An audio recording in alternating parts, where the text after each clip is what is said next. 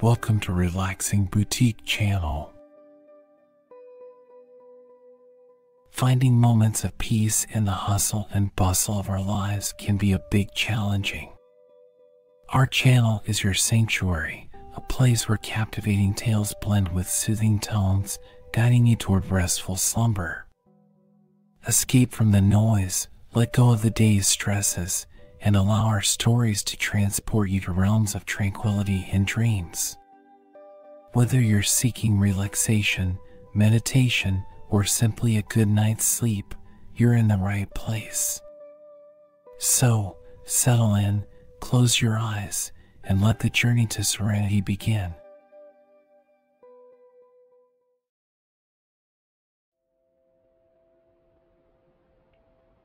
In our unceasing journey through the corridors of life, moments of pure, unadulterated tranquility can sometimes seem as elusive as shadows at noon. The modern world is a symphony of endless noises, from the incessant hum of digital screens to the ceaseless whispers of obligations, commitments, and desires. In this symphony, our souls often search for a gentle lullaby a melodious escape, a chance to pause, breathe, and simply be. Now, as you find yourself here in the magic of this narrative oasis, know that you've stumbled upon a sanctuary, a world where serenity isn't just a luxury but a promise. Picture, if you will, a secluded haven nestled amidst nature's embrace, where the wind hums lullabies and time itself seems to tread lightly. This is where we invite you to journey with us, a place of meditation, reflection, and utter calm. Begin by taking a deep, resolute breath. Feel the cool air grace your nostrils, traveling through the depths of your lungs, filling your being with the ancient rhythms of existence. And then, as you exhale, imagine releasing the shackles of worry, stress, and the relentless march of time. Each subsequent breath is a step deeper into the heart of tranquility, a dance with the universe, an affirmation of the present moment. We live in an era where the very essence of our existence often feels fragmented pulled in myriad directions by demands, expectations, and the invisible threads of technology, it's easy to lose oneself. But these tales, each a gem sculpted from the rich tapestries of imagination and insight, seek to offer you a bridge. A bridge not just to sleep, but that in itself is a cherished realm of restoration, but to a state of soulful relaxation where the world narrows down to the here and now, where every heartbeat is a reminder of life's simple beauties. These stories are not just words, they are portals. They beckon you into worlds where the pace is gentler, the colors more vivid, and the sounds harmoniously aligned with the rhythms of the cosmos. Here, amidst these tales, you'll find characters and landscapes that resonate with the deepest parts of your psyche, invoking a sense of familiarity and nostalgia. They're like old friends or forgotten dreams, waiting to welcome you back. As you immerse yourself in these narratives, let the outside world fade into soft focus. Envision your stresses and anxieties as leaves carried away by a gentle stream, disappearing beyond the horizon.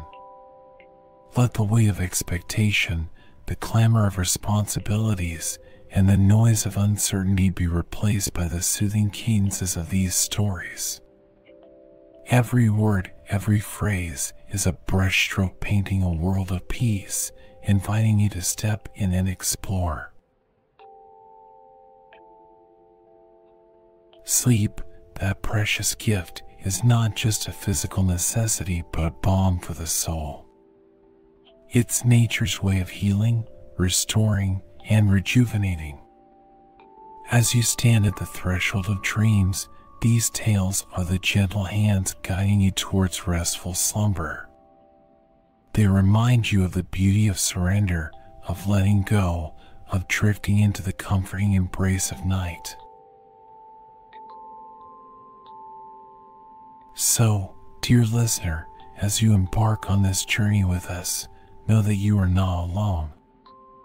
Through the magic of these tales, we are with you, sharing in your quest for tranquility and deep, restorative sleep. Let these stories be your anchor, your lighthouse, guiding you away from the tempests of daily life and into the calm waters of relaxation and dreams. Welcome to our sanctuary. Let the journey to serenity begin.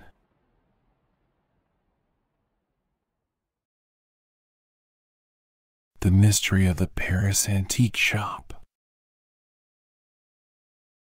Chapter 1 The Enchanting Discovery. In the heart of Paris, where the Seine River gently meandered through the age old city, the Belle Epoque era flourished in full splendor. It was a time of artistic and cultural awakening where the air buzzed with the energy of new ideas and the streets echoed with the steps of the bourgeoisie and bohemians alike. The city was a canvas painted with wide boulevards, opulent buildings, and lively cafes, each corner telling its own story of romance, innovation, and mystery. Among the well trodden paths of this grand city, there lay a street less traveled, where the shadows played hide and seek with the golden Parisian sun. It was here that Henri, a passionate collector of antiques and admirer of history, found himself one crisp autumn morning. His eyes, always seeking the hidden gems of the past, were drawn to a peculiar storefront nestled between a boulangerie and a florist. This shop, with its dimly lit window displaying relics of yesteryear, seemed almost to whisper his name. Henri, with his keen eye for the extraordinary, felt an irresistible pull towards the shop. He adjusted his woolen coat and stepped closer, his heart quickening with each step. The window displayed an array of antiques, each with its own allure, a brass compass that had once navigated unknown seas, a pair of delicate lace gloves suggesting tales of high society, and a stack of yellowed letters tied with a velvet ribbon hinting at long forgotten romances. As Henri pushed open the door, a bell chimed overhead, announcing his entrance into a world forgotten by time. The air was thick with the scent of old wood and leather, and a soft, warm light bathed the room, casting shadows that danced on the walls. The shop was a treasure trove filled to the brim with artifacts from different eras, each corner holding its own secrets. There were Renaissance paintings with gilded frames, Victorian era furniture with intricate carvings, and Art Nouveau vases with sinuous lines and vibrant colors. Behind the counter stood the shopkeeper, an elderly man with a gentle face and eyes that seemed to have seen the passage of centuries. His presence was both comforting and enigmatic, like the shop itself. He greeted Henri with a nod, a subtle invitation to explore the wonders that lay within. Henri's gaze wandered through the shop, taking in the myriad of objects. Each piece seemed to call out to him, eager to share its story. He was particularly drawn to a beautifully crafted grandfather clock, its pendulum swinging rhythmically, marking the passage of time in a timeless space. The clock was adorned with intricate carvings of scenes from Greek mythology, its hands delicately etched with fine detail. As he moved through the aisles, Henri felt as though he were walking through the pages of history. He saw a set of dueling pistols from the Napoleonic era, their barrels engraved with the initials of long forgotten soldiers. A collection of porcelain dolls dressed in period clothing sat elegantly on a shelf, their painted faces serene yet expressive. In one corner, a gramophone with a large brass horn stood proudly, ready to fill the room with the melodies of a bygone era. The deeper Henri ventured into the shop, the more he felt detached from the outside world. It was as if the shop existed in its own bubble, untouched by the passage of modernity. He could almost hear the faint echoes of past conversations, the laughter and tears of those who once held these objects dear. Henri's attention was soon captured by a display of antique jewelry. Amidst the sparkling array of brooches and necklaces, a particular piece caught his eye, a delicate cameo brooch depicting a lady of noble bearing.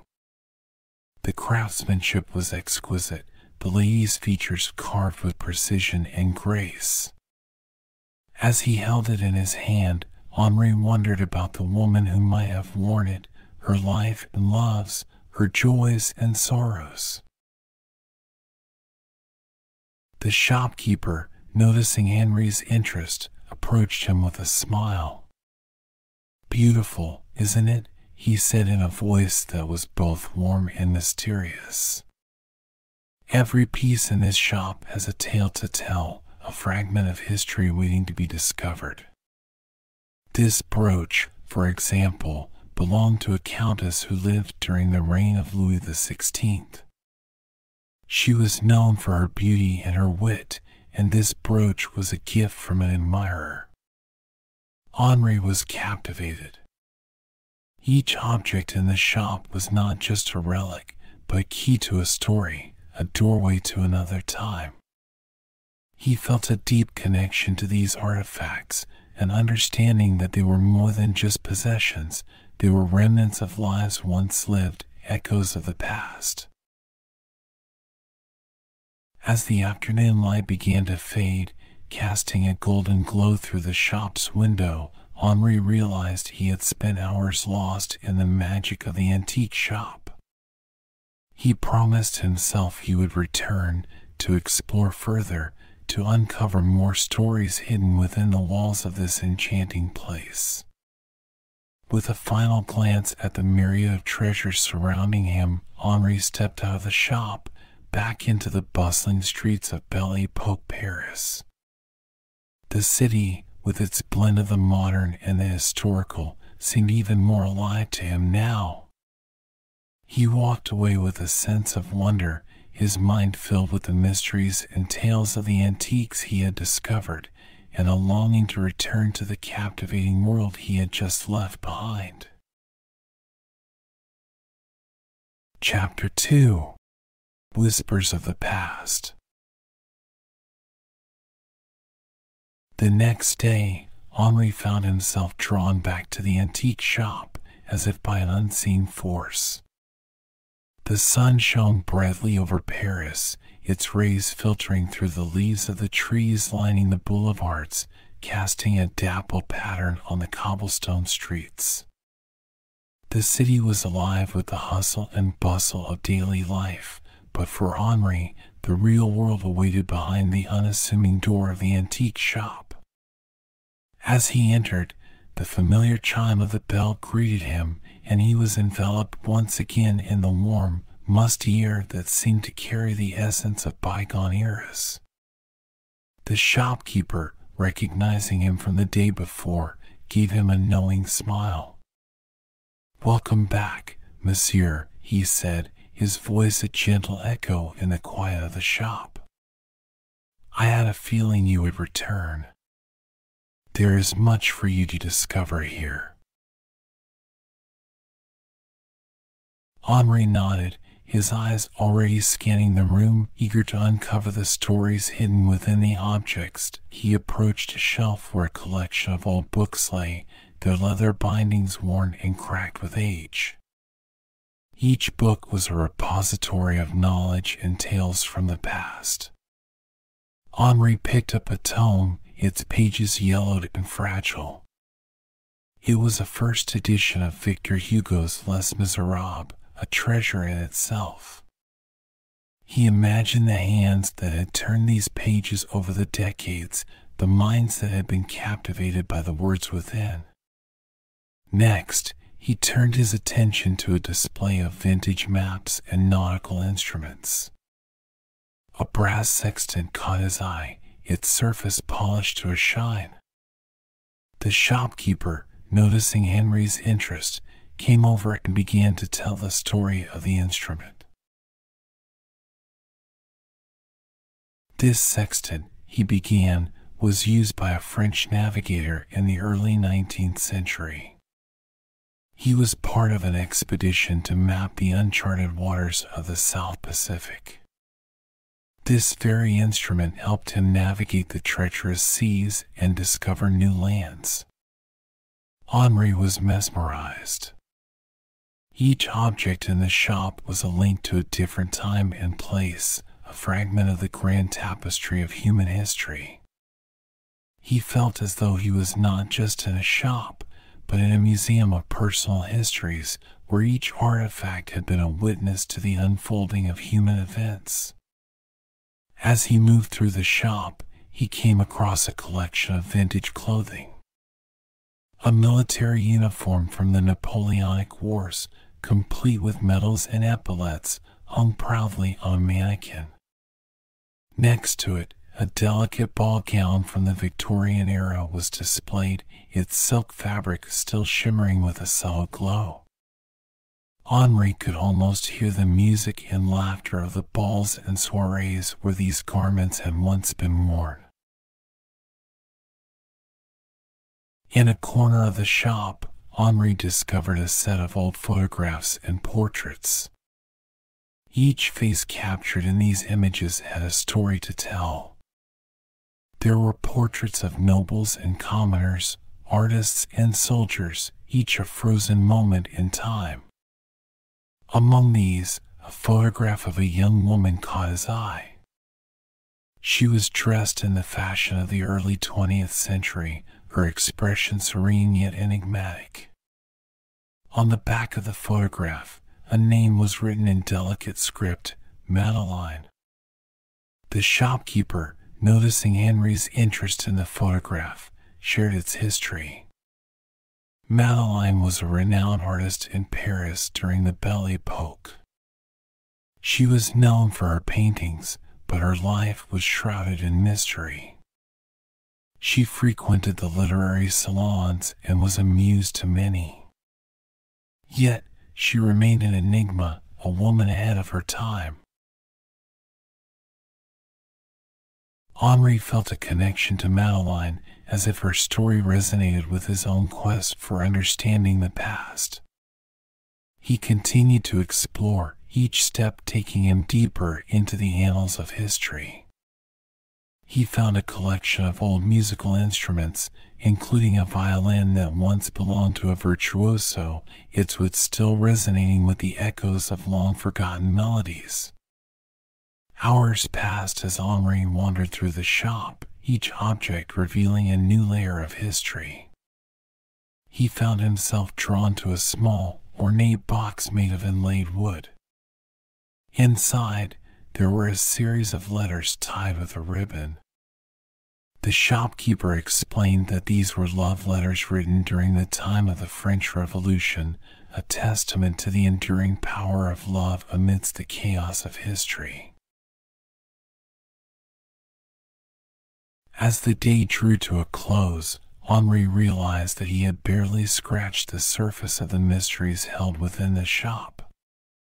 Each artifact was a doorway to another time, a bridge to another life. He knew he would return again and again to uncover more of the stories that lay waiting in the quiet, dust filled corners of the antique shop. Henri left the shop as the sun was setting, the Parisian sky painted with hues of orange and pink. The streets of the city seemed different to him now, imbued with the layers of history he had just experienced. The Belle Epoque with its blend of beauty, innovation, and mystery, had come alive for him in a way it never had before. As he walked home, Henri's mind was filled with the whispers of the past, the echoes of lives lived long ago. The antique shop had opened a door to a world he had always longed to explore, and he knew that his journey into the heart of history had only just begun. Chapter 3 The Heart of the Mystery Henri's revelation that the locket was connected to his family history ignited a fervent quest to unravel its full story. He spent countless hours in the shop, poring over old maps, letters, and artifacts that might offer clues to the locket's past. The shopkeeper, Monsieur Dubois, was always there, a sage guiding him through the labyrinth of history. As winter draped Paris in a blanket of snow, Henri's visits to the shop became more introspective. He felt a deepening bond with the shop, as if it were revealing its secrets to him piece by piece. The objects around him seemed to speak, each whispering its own tale of a Paris long gone but not forgotten. One day, drawn by inexplicable urge, Henri found himself in a secluded corner of the shop he had never noticed before. Here, he discovered a collection of personal items from the Belle Epoque era, elegant opera glasses, a dainty hand fan adorned with intricate lace, a gentleman's pocket watch still ticking faintly. Each item was a fragment of a life once lived, a snapshot of a moment in time. Among these treasures, Henri's gaze fell upon a small, leather bound journal. Its pages were yellowed with age, the ink faded but still legible. The journal belonged to a young woman who lived in Paris during the Belle Epoque. Her words painted a vivid picture of the city in that era, the grandeur of the opera, the lively cafes of Montmartre, the hustle and bustle of the Champs-Élysées. Her descriptions brought the world of Amelie and Jean to life, filling in the gaps of Henri's imagination. Henri's visits to the shop soon became a ritual. He would spend hours reading the journal, connecting the dots between the young woman's life and the locket's history. Monsieur Dubois would often join him, offering insights into the social and cultural nuances of the time. The shop had become a portal to the past, a place where Henri could immerse himself in the world of his ancestors. As the days grew longer and the chill of winter began to thaw, Henri's understanding of the locket and its significance deepened. He learned that the locket was not just a symbol of forbidden love, but also a testament to the resilience of the human spirit. Amelie and Jean's story was a reflection of the broader struggles and triumphs of their time. Henri's quest also led him to explore the broader history of the Belle Epoque. He delved into books and archives, learning about the artistic movements, the political upheavals, and the societal changes that shaped the era. He attended lectures and exhibitions, each event adding another layer to his understanding of the period. The more Henri learned, the more he felt a personal connection to the history of Paris. He began to see the city through the eyes of those who had lived there a century ago. The grand boulevards, the majestic buildings, and the winding streets took on new meaning.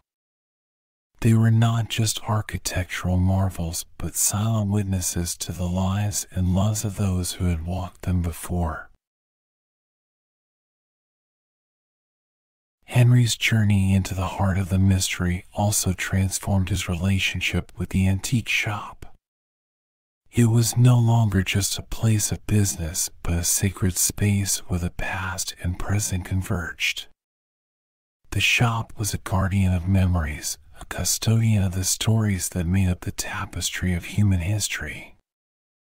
As spring approached, bringing with it a sense of renewal and hope, Henri realized that the mystery of the locket was more than just a personal quest. It was a journey into the soul of Paris, a city that had endured through the ages. The locket had become a key to unlocking the secrets of the past, a bridge connecting Henri to the generations that had come before him. Henri's visits to the shop became less about seeking answers and more about paying homage to the legacy of the locket and its owners. He felt a sense of responsibility to preserve their story, to ensure that their love and courage were not forgotten. The shopkeeper, Monsieur Dubois, had become a mentor and friend. Their conversations often extended beyond the locket and the shop, delving into philosophy, art, and the human condition. Through these discussions, Henri realized that the shop was more than a collection of objects, it was a reflection of the human experience, a mosaic of the joys, sorrows, hopes, and dreams that defined life. As the narrative of Amelie and Jean's love story became clearer, Henri felt a profound sense of gratitude. The locket had not only connected him to his past, but it also taught him invaluable lessons about love, loss, and the enduring power of memory. The mystery of the locket was no longer a puzzle to be solved, but a story to be cherished and shared. Henri began to document his journey, writing about his discoveries and reflections.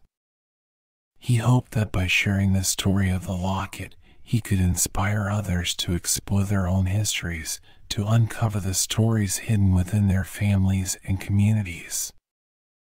As the story of the locket unfolded, Henri realized that it was not just a relic of the past, but a living legacy, a reminder that the stories of those who came before us are etched in the objects they left behind.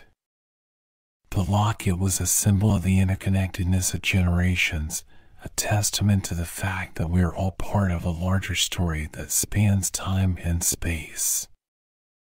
In the end, the heart of the mystery was not just about uncovering the past, but about understanding the present. Henri's journey with the locket had led him to a deeper appreciation of life and a renewed sense of purpose. He had discovered that the true value of the antique shop and its treasures lay not in their monetary worth, but in their ability to connect us to our history and to each other. As the final chapter of Henri's quest came to a close, he knew that his journey was far from over. The antique shop, with its endless mysteries and stories, would always be a part of his life, a place where he could continue to explore the depths of history and the intricacies of the human heart. The mystery of the locket had been a gateway to a world of discovery, a journey that had transformed Henri in ways he could never have imagined. It had taught him the importance of preserving the past, of honoring the memories of those who came before, and of cherishing the stories that define our humanity. Henri's story was a testament to the enduring power of history and the unbreakable bonds that connect us through time. It was a reminder that the mysteries of the past are always waiting to be uncovered, hidden in the corners of antique shops, in the pages of old journals, and in the hearts of those who seek to understand the whispers of history. As Henri walked the streets of Paris, the locket around his neck and the memories of his ancestors in his heart, he knew that his journey was just beginning. The antique shop had opened his eyes to the wonders of the past, and he was eager to continue exploring the rich tapestry of history that surrounded him. Paris, a city that had witnessed the rise and fall of empires, the beginning of revolutions, and the blossoming of art and culture, was eternally beautiful, as demonstrated by the tale of the locket and the antique shop. The city had withstood the test of time, with its buildings and streets bearing the scars of the people who had come before them. Henri's journey into the heart of the mystery had been a journey of discovery, a journey that had led him to a deeper understanding of himself and his place in the world. It was a journey that had shown him the power of history, the beauty of memory, and the enduring legacy of love. Chapter 4 The Unveiling The revelation that the locket was a part of his own family history marked a turning point in Henri's journey. The antique shop, once a mere haven for his curiosity, had become the epicenter of a profound personal quest. Henri found himself visiting more frequently, each trip unraveling more layers of his own past and that of the locket. As autumn gave way to the crisp chill of winter, Henri delved deeper into his family's archives. He scoured through old letters, diaries, and faded photographs, piecing together the story of his ancestors. The young woman in the locket, he discovered, was indeed his great great grandmother, Amelie. The soldier, identified in a tattered letter as Jean, was a young man of humble origins who had served in the French army. The love story that unfolded from the pages of history was both poignant and turbulent. Amelie, born into a family of noble status, was expected to marry into wealth and maintain the family's social standing. However, her heart led her down a different path when she met Jean, a dashing young soldier with eyes that spoke of bravery and kindness. Their love, forbidden and frowned upon by her family, was a flame that burned brightly in the secretive corners of Paris. Henri learned of their clandestine meetings, the stolen moments in the gardens of Luxembourg, and the heartfelt letters exchanged under the cover of night. He read of their plans to elope, to build a life together against the odds. But their dreams were shattered by the harsh realities of their time. Jean was called to the front, leaving Amelie behind, her heart aching with uncertainty. The story of Amelie and Jean became a living, breathing part of Henri's daily thoughts. He visited the places mentioned in their letters, walking the same paths they had walked, feeling a connection that transcended the centuries. The locket, now ever present around his neck, was a tangible link to their world. In the shop, Monsieur Dubois became an invaluable ally in Henri's quest. He provided context and insight into the era helping Henri to understand the societal norms and challenges that Amelie and Jean had faced. The shopkeeper's knowledge of Parisian history was vast, and his stories brought the Belle Epoque to life in vivid detail. As Henri pieced together the puzzle of his ancestors' lives, he also began to understand the role of the shop in his journey. It was as if the shop had chosen him, guided him to discover the locket, and through it, his own heritage. The shop was more than a repository of antiques, it was a guardian of memories, a bridge between the past and present. Henri's exploration of the locket and his family's history led him to a deeper appreciation of Paris itself. The city, with its layers of beauty and complexity, was a living museum of his own lineage. He saw the streets, the buildings, and the landmarks through the eyes of Amelie and Jean, understanding their hopes, fears, and dreams.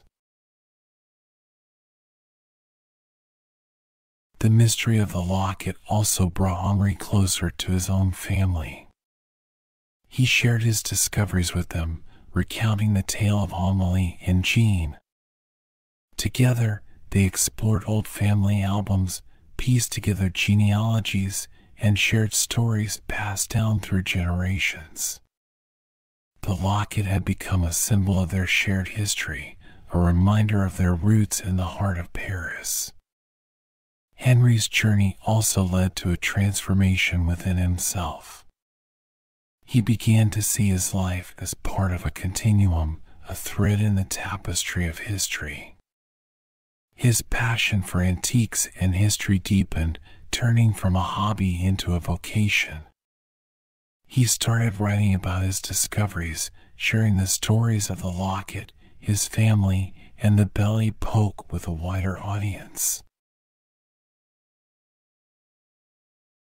His writings garnered attention, and he became known as a storyteller of Paris's past. The antique shop remained Henri's sanctuary, a place where he could immerse himself in the echoes of the past. Monsieur Dubois, ever the wise and gentle mentor, continued to share his knowledge and stories, enriching Henri's understanding of the era and its treasures. As spring returned to Paris, bringing with it the renewal of life and color, Henri realized that his journey had come full circle. The mystery of the locket had been unveiled, revealing not just the story of Amelie and Jean, but also his own place in the tapestry of time. He had uncovered a hidden chapter of his family's legacy, connecting him to the city he loved in ways he had never imagined. In the end, the antique shop in the heart of Paris with its treasures and secrets, had given Henri more than just a glimpse into the past. It had given him a deeper understanding of himself and his connection to the city's history. The shop, with its whispers of bygone eras, had become a part of his soul, a reminder that the past is always present, waiting to be rediscovered and cherished. Henri's story was a testament to the enduring power of love and memory, to the threads that connect us to our ancestors, and to the magic that lies hidden in the corners of our world, waiting to be found. The mystery of the antique shop had been solved, but for Henri, the journey into the heart of history was just beginning.